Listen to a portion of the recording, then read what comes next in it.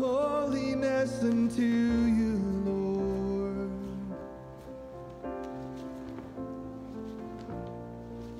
Holiness unto you, Lord. Oh, in Zephaniah it's written on the bells of the bridles of the horses. This inscription it reads. The book of Zephaniah, it's written on the bells of the bridles of the horses. This is what it reads. Holiness unto you, Lord. It'll change lives.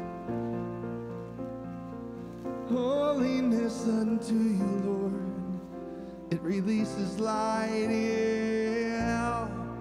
Holiness unto